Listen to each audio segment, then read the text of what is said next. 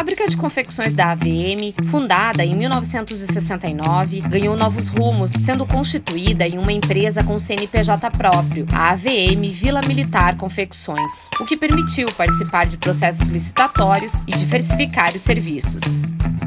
Recentemente, foi realizado um importante investimento no avanço tecnológico, com a aquisição de novos maquinários e com foco no planejamento e controle da produção, para buscar agilidade e inovação.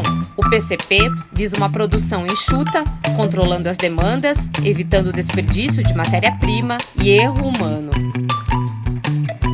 Todo o processo foi reorganizado, dividido em três etapas: preparação, montagem e acabamento, e quatro setores: fardamentos, colégios, malharia e acabamento final. E o resultado foi uma economia de mais de 10% em insumos e rentabilidade de mais de 40% de mão de obra.